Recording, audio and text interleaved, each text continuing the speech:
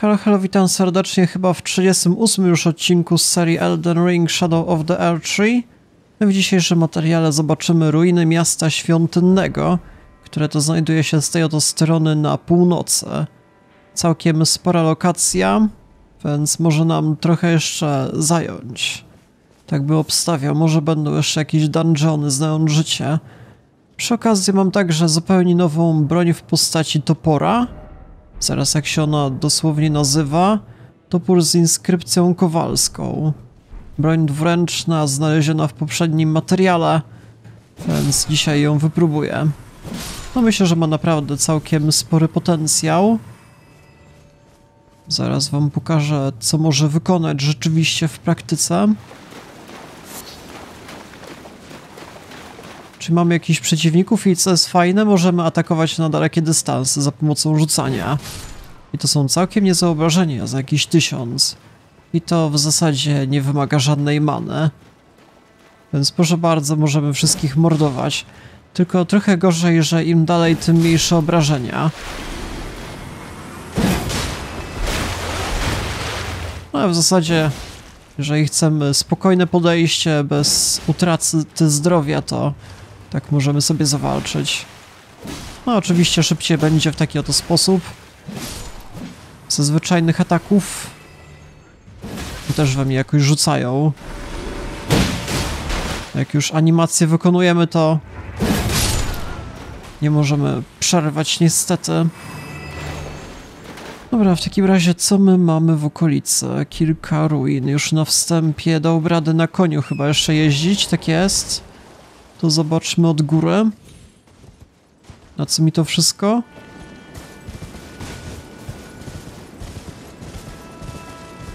Nie, to jakaś boczna alejka. Nie widzę jakichś e, wartościowych materiałów, jakieś pierwsze ruiny, sprawdzam murki. Na co mi to wszystko? Może jeszcze tak?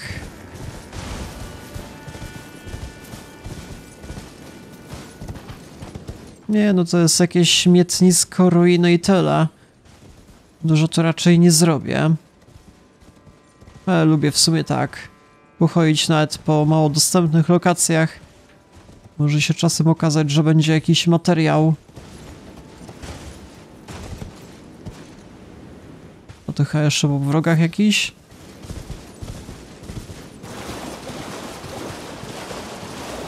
Ciekawa sprawa, że jeszcze istnieje opcja wezwania duszy, jakby był to jakiś wyższy poziom trudności.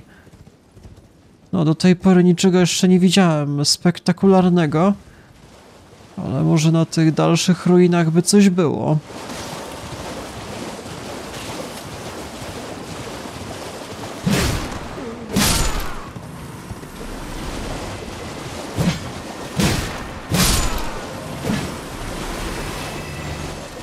Proszę bardzo, po co mi dusza na takie oto stwory? Każdego mam na dwa hity w zasadzie.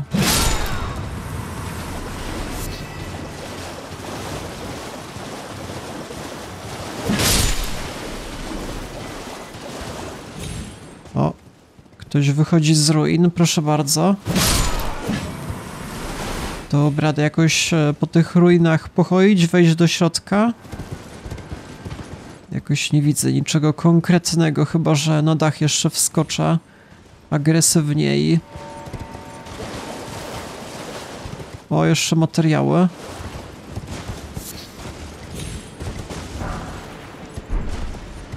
Kamienie kowalskie, nawet na tym niższym poziomie się przydają w sumie. No tak, to w sklepie muszę kupować kolejne bo te na wyższych levelach to mam dosłownie jakieś setki, ale te na najniższych to rzadko w sumie się wykorzystuje. Na samym początku było ich gry bardzo dużo, ale jak już się jest w late game, to zaczyna mi brakować i muszę kupować od nowa.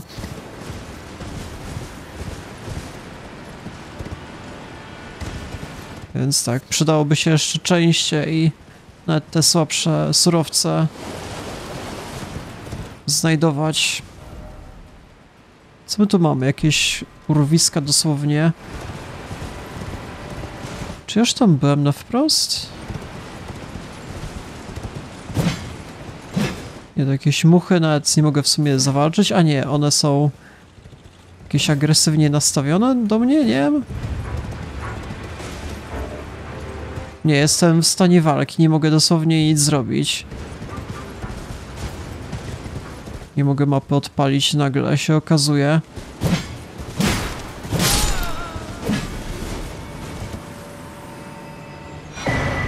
Trochę czcigodnego ducha. Wspaniale. Tutaj patrząc na wprost już byliśmy na samym początku gry. To był pół północny Wielki Most. Jeżeli dobrze pamiętam, istniała też jakaś opcja zeskakiwania na sam dół z obecnego miejsca. Takie były charakterystyczne groby tędy. No ale też jest raczej bezużyteczne, ponieważ na samym dole też już byliśmy. Więc to już sprawa załatwiona. Ej, co jest? Te muchy mnie atakują, że jak? Dobra, teraz wam nie daruję. Ale one są tak szybkie. Dobra, wkurzyłyście mnie. Teraz to ja odpalam snajperkę i tyle. Nie, to z tym się dosłownie nie, nie da walczyć. Nie, to jest zbyt szybkie. Dobra. Musi się zatrzymać. Upierdliwa jak w rzeczywistości mucha. Proszę bardzo, jaka realistyczna produkcja.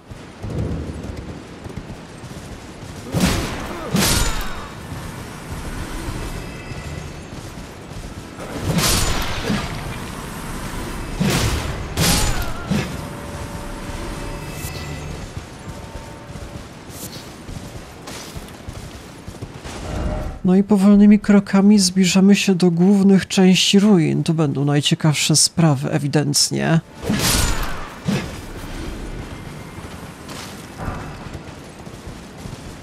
Może jakieś dungeony albo coś w tym stylu.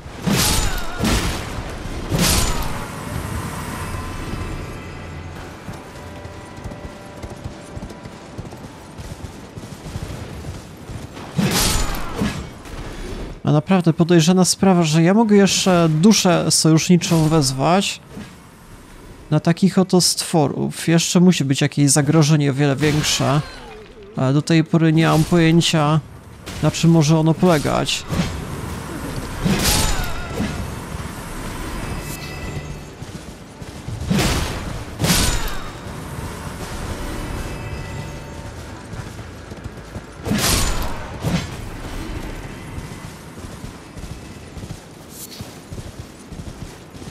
W sumie tych robotników to jest z 50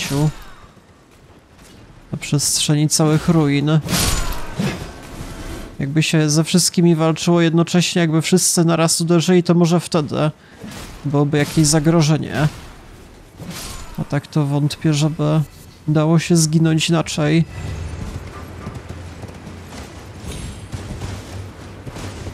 No jest jakaś lokacja charakterystyczna na samym środku.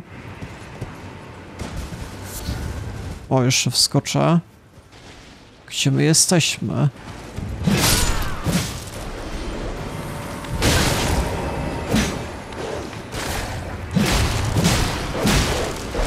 Jeszcze mam specjalną umiejętność, patrzcie na to, pod R2, to jest dopiero masakrująca umiejętność.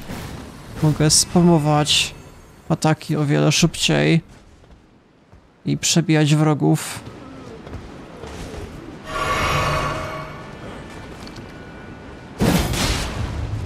No zawsze możemy też obijać, ale to wychodzi trochę wolniej, bardziej pasywne podejście. To nie w moim stylu. Istnieje też opcja, żeby z wyskoku tak uderzyć. A to już nie jest takie proste.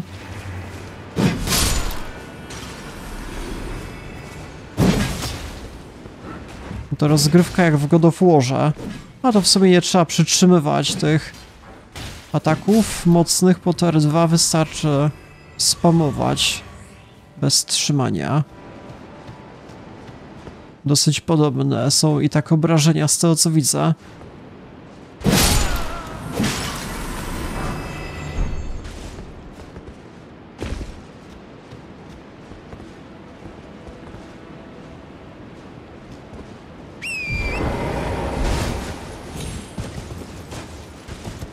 Dobra, jeszcze jakoś wyżej wskoczymy. Na co mi to wszystko?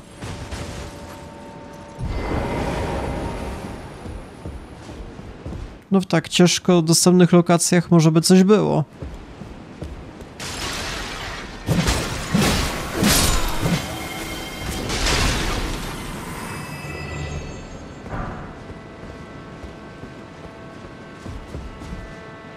O, rzeczywiście epicki materiał. Jak się do niego dostać?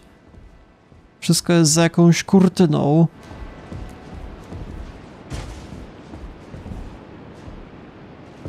Tam jeszcze patrząc na te mury, raczej niczego nie widzę. Bez sensu już chyba zaskakiwać. W takim razie o jakie odległości? Tędy?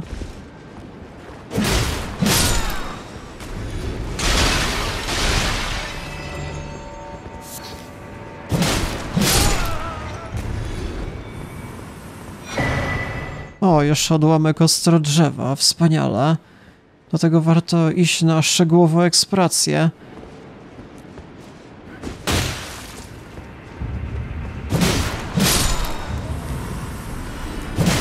Nie, to mówiąc szczerze, to jest jedna z najprostszych lokacji w całej grze. Nie ma absolutnie żadnych zagrożeń.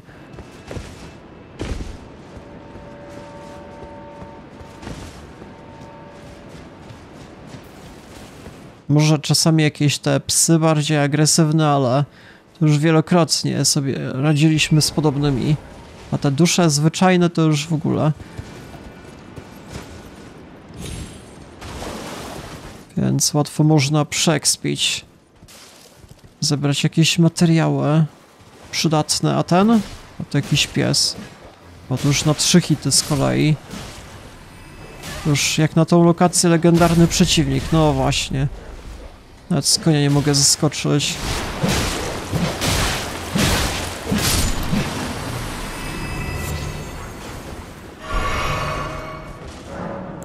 No, jeszcze mi konie rozwalili. Nie mogłem zaskoczyć niestety, mimo iż próbowałem, jakoś mi tam ktoś przerwał animację.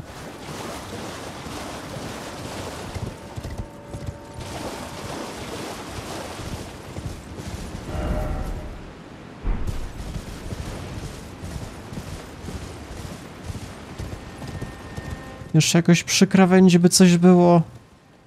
No to już sobie radziłem na koleś wcześniej.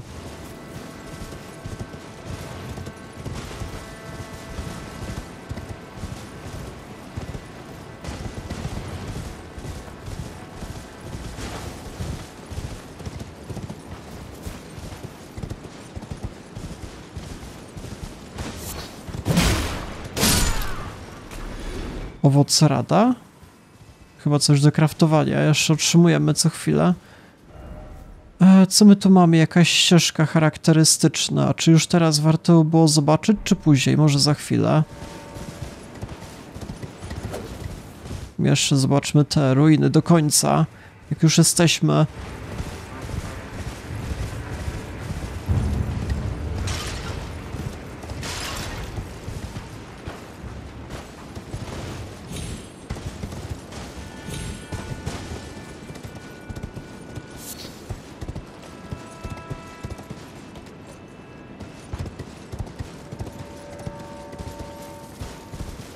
To już niżej wszystko je, jest raczej załatwione.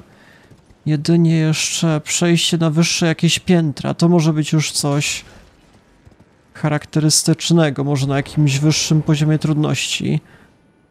Najbardziej charakterystyczne miejsce z całych ruin. Może tu będzie jakiś stwór straszliwy. Strzały.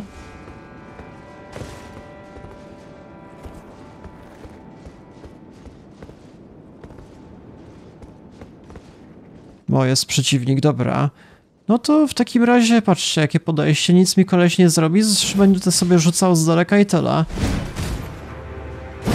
O, tak sobie rozgrywamy. Wystarczy trzymać dystans i po robocie. To jest dopiero profesjonalne podejście.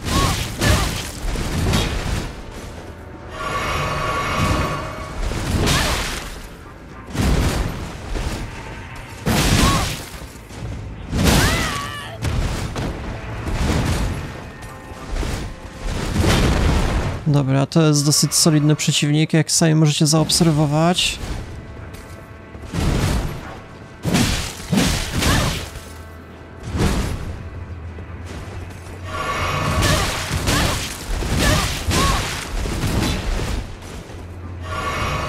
No to chyba wszystkie leczenia zmarnuje na kolesia. Jaki ty masz range w ogóle, panie?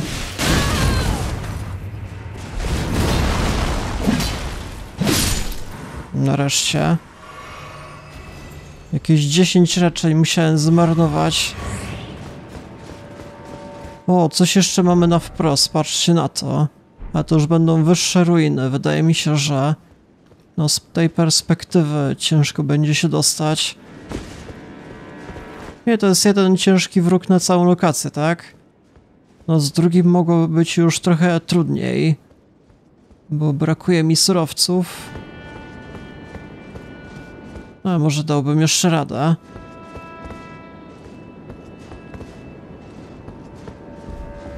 To z kolei jakiś widok. Patrz łaska? A z której strony jest łaska? A, niżej, okej, okay, dobra. Bardzo dobra informacja. Właśnie mi brakowało łaski w tej okolicy. Dobra, co my tu mamy? Talizman miecza dwuręcznego. Okej, okay, z takich mieczy często korzystam, więc... Zaraz zobaczę. Talizman przedstawiający wojownika z mieczem dwuręcznym wzmacnia ataki bronią dwuręczną. Rogaci wojownicy byli doskonałymi dowodami na siłę militarną wieży, której strzegli. Ich zwinne ataki mogły przeciąć ciało każdego wroga. Miecz dwuręczny. No to w sumie każda broń może być dwuręczna, czyż nie? Teraz na przykład trzymam w dwóch rękach, ale no niekoniecznie jest to broń do tego przeznaczona. Czy to dom? Ale to nie masz prawa. Hmm. Dziwna informacja. Może będą jakieś sekrety jeszcze w przyszłości, kto wie. Na co mi to wszystko? Już wyżej nie wskoczę? A wydawałoby mi się, że może jest to możliwe. Pod jakimś odpowiednim kątem. Nie, to już zbyt ryzykowne. Chyba, że tak. Nie, to już... Chyba nie o to by chodziło twórcom. Może jakoś niżej, tędy.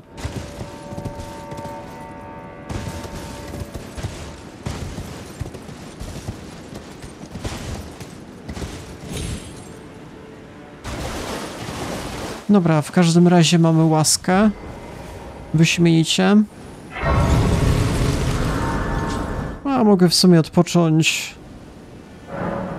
Trochę tam oberwałem po drodze.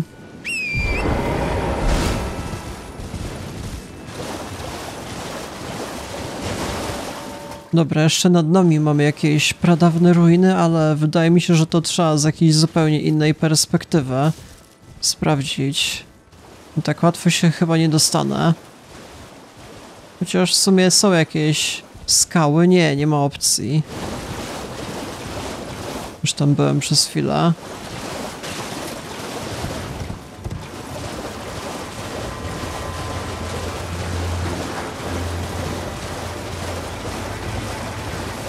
Jeszcze zobaczymy z tej strony. Z tego co pamiętam była jakaś ścieżka mniej więcej. Właśnie tędy.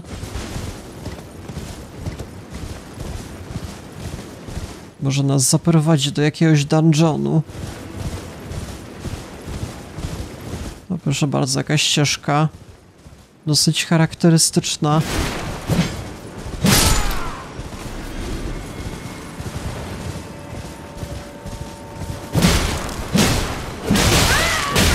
Dobra, to już jestem zatwiony na najgorszych.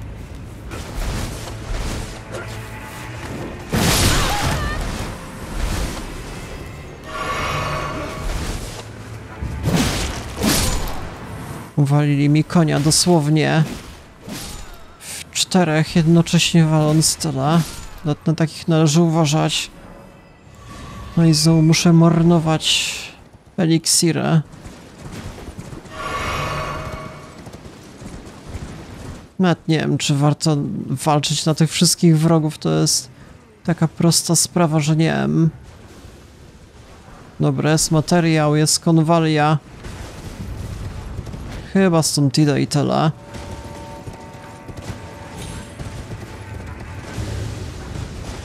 Czy jest to jakiś charakterystyczny wróg? Nie, nawet te zwyczajne posiadają takie ataki dystansowe. No nic mi to wszystko.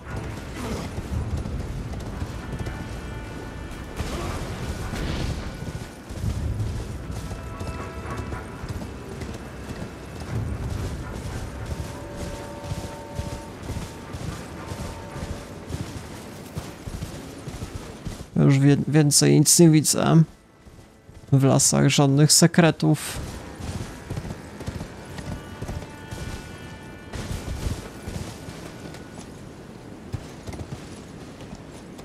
Ja w tej głównej wieży już byłem. No, w takim razie chyba lokacja sprawdzona. Chyba już więcej nie było.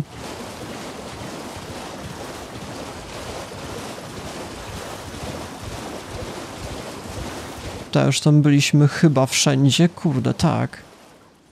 Ta byliśmy.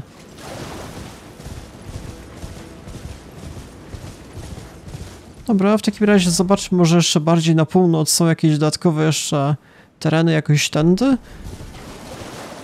Na co mi to będzie?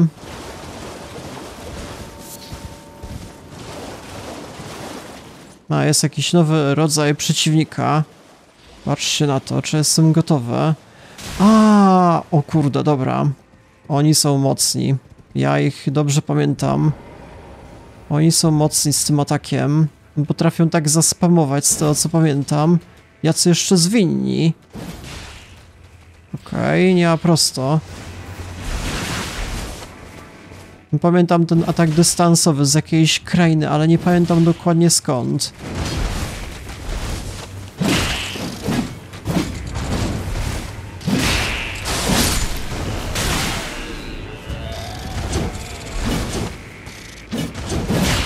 Chyba w tej czerwonej krainie, już nie pamiętam jak się nazywała. Tu mają akurat dużo barier. Więc te ataki nie zawsze im wchodzą.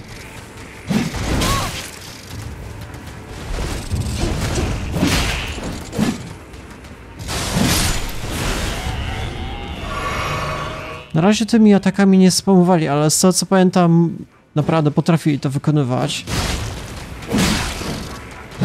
Dobra, zaspamuję go na śmierć. Kiedyś to był naprawdę bardzo mocny przeciwnik, ale w tych e, pierwszych krainach jeszcze do tej pory mam wyryte w pamięci po dwóch latach, że można było na nich zginąć dosyć prosto. W szczególności jak spamowali tymi atakami dystansowymi, to było jakieś porąbane. Jeszcze najbardziej otwartych terenach. Na pustkowiach oni występowali. A tu w lasach, no, może być to już trochę prostsze. Też jesteśmy przeekspieni. A to jest też trochę inny rodzaj wroga. Na czerwono zaznaczony, wtedy był jakiś, nie wiem, szary czy tam zielony, nie pamiętam. No, dał radę też do góry wskoczyć. Na co mi to wszystko? A, bo to będzie jakiś, jakaś nowa lokacja. A to może zostawię na później. To jeszcze... A, dobra. Przez chwilę myślałem, że to jakiś legendarny orzeł nieznany. Dobra, trzymaj. A tą bronią to można całkowicie spamować, tym R2. Przebijać jeszcze na dystans. A, bo to wymaga jeszcze sporo staminy. Nie można tak rzucać bez przerwy. Aż tak prosto nie ma. Myślałem, że nie ma żadnych kosztów tego rzucania przez chwilę. Czasami tam manę wymaga, ale nie tym razem. No, tu będzie pojedynek. Dobra, spamujemy ich.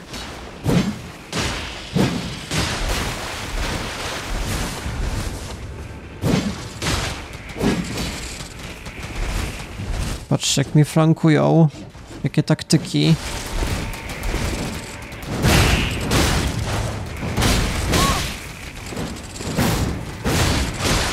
Kurde, jak mi w ogóle wchodzą na plecy bez przerwy.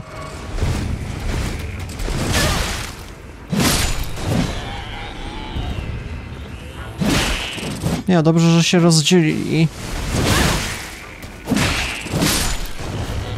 Jakbym z pięciomi miał walczyć jednocześnie, to byłyby kłopoty.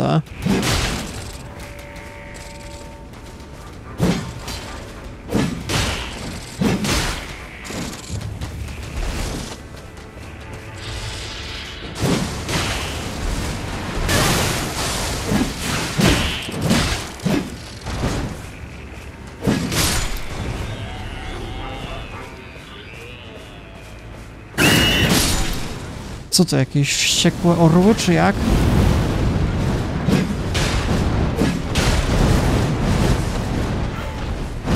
Jezu Chryste, ile ja mam w ogóle tych kolesi, patologia. Skąd się oni wzięli wszyscy? Dobra, to będzie na ich mocno, patrzcie na to. Zamordowani. Ta umiejętność e, specjalna na przebijanie postury. Więc to może całkowicie zaspomować jakieś dwa ataki na sekundę. No to wymaga many, ale jest super potężne.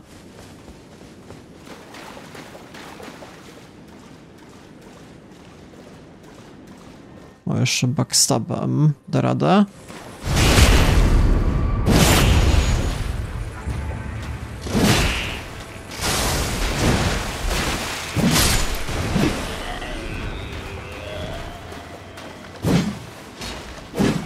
Hej, co się dzieje? Jakieś tekstury niewidzialne. What the hell? Nie mogę uderzyć na daleki dystans, z jakiego względu? Dobra, gramy na obijanie, proszę bardzo. Tak się rozgrywa, nikt nie podejdzie nawet do mnie. Ale po co ja to robiłem? Zaraz, wydawało mi się, że jakiś materiał był dobry w okolicy, nie? Ale ja ślepy jestem.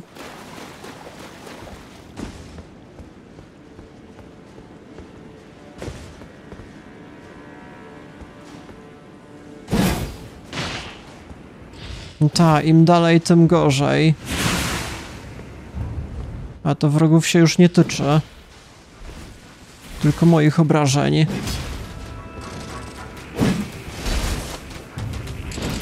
What the hell? Ten koleś po prostu parkour potrafi na najwyższym levelu, że jak? Czy widzieliście jak on wskoczył szybko?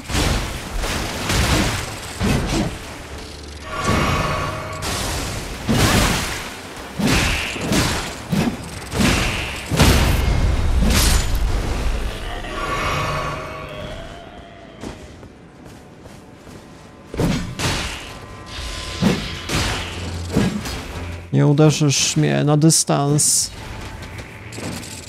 Zaspamuję cię na śmierć. Tak jest.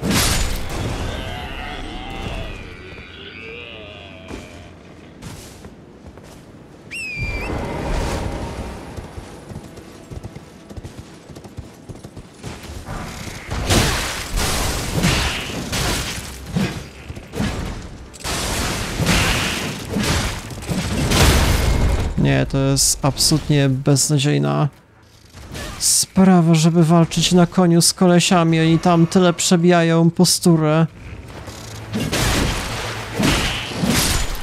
W szczególności z tych ataków dystansowych.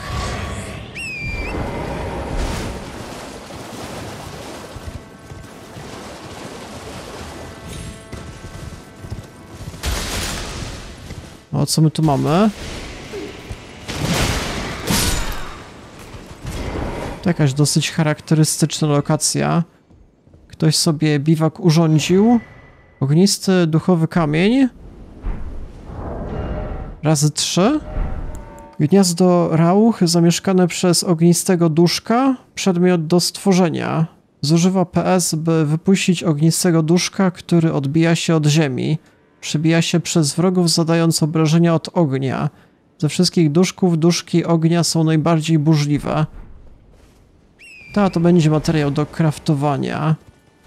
Miałem już w sumie takie charakterystyczne kamienie, które należało łączyć z jakimiś duszkami. Więc pewnie dałoby radę coś wytworzyć. w obecnym momencie.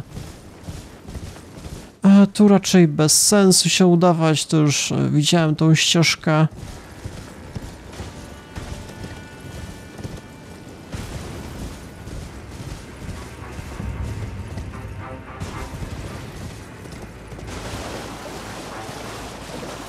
No to nie ma żadnych materiałów godnych uwagi? Na co ja walczyłem z tymi wszystkimi potworami? Nie mam zielonego pojęcia. Wydawało mi się, że jest jakiś materiał, to mogłem przeskoczyć i tyle.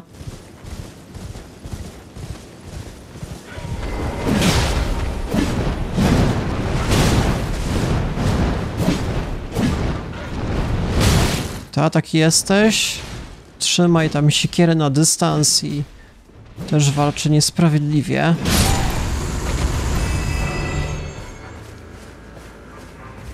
Który jeszcze chce się ze mną zabawić? Trzymaj.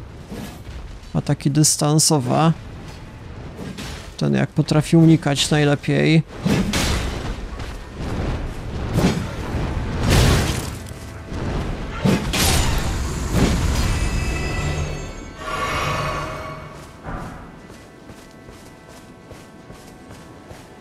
Nie ma już żadnych wrogów? Chyba nie. Zbroja cmentarnego ptaka czarnego pióra. Kamienna zbroja z domieszką zieleni. Część pancerza odlanego na podobieństwo cmentarnego ptaka.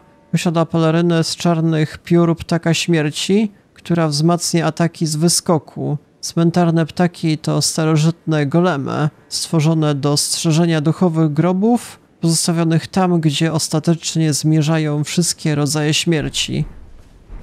Ta, to są, jest chyba nawet cały zestaw tych broni, jeżeli dobrze pamiętam. Coś tam kiedyś już zbierałem.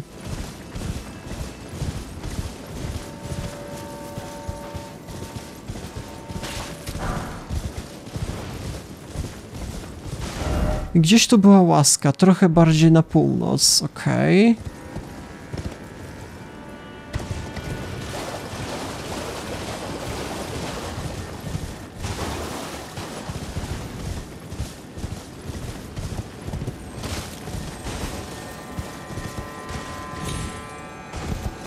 Właśnie słyszałem jakieś dziwne dźwięki. Mamy materiał do zebrania, jakieś kamienie kowalskie, no nie. Kupił wojny, trujący kwiat, kwitnie dwa razy, proszę bardzo.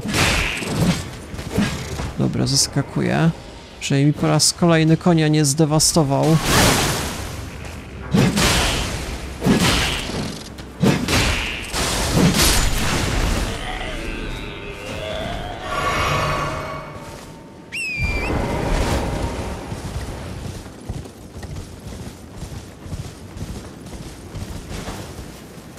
Dobra, jeszcze wyżej wskoczyć? W sumie te wyżyny nie są aż takie super wysokie.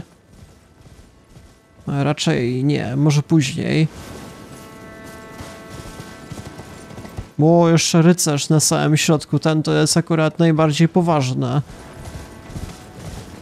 Ja nie wiem, czy muszę się z nim pojedynkować, czy ma to sens. Mógłby mieć jakiś materiał w sumie.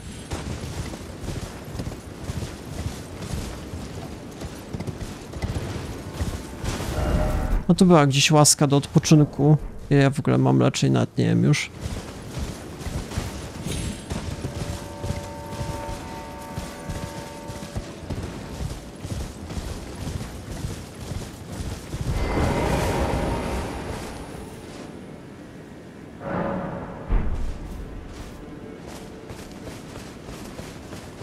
Dobra, załatwimy kolesia na środku.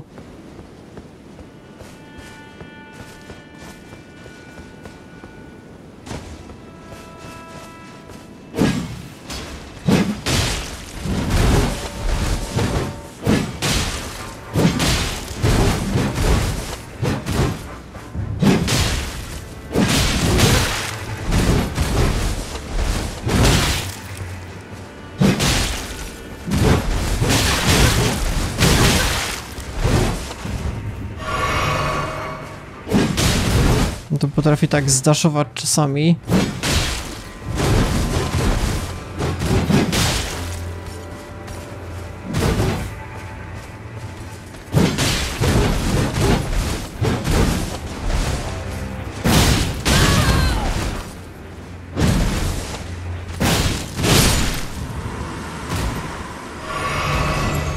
Miał jakiś cenny materiał? Nie, nic nie miał. Myślę, że coś z niego wypadnie, ale jednak nie tak prosto.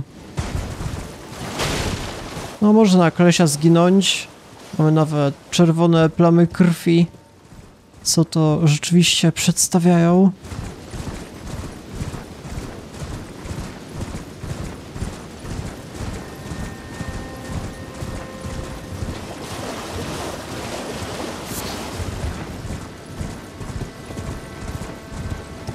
Jeszcze jakoś tędy, nie wiem. Ale wysoka wyżyna. Nie mam jak się wspiąć dosłownie, co jest w twórce. Nic tu chyba po mnie.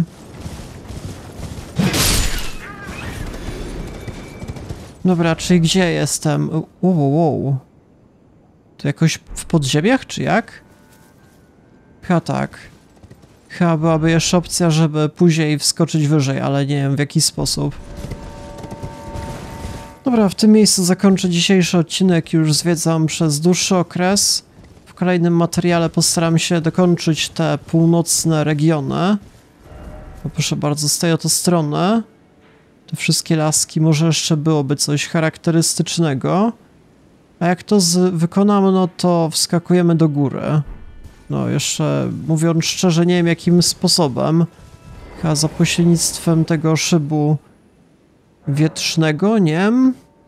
Więc tak, jeżeli interesuje Was kontynuacja przygody, to polecam zostawić lajka, dzwonka po kolejne materiały. No i w sumie tyle. Ja się z wami żegnam. Do jutra.